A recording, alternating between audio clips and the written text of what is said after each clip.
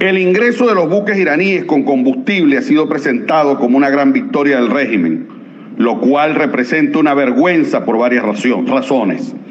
Es una operación ilegal, es el reflejo de la destrucción de PDVSA y es una provocación contra los gobiernos democráticos del continente convertir a Venezuela en un, un puerto de Irán en América. Este bochornoso régimen continúa su carrera de ilegalidad, dolarizando la gasolina a los usuarios en Venezuela, en medio de un desorden planificado y una anarquía en las estaciones de servicio.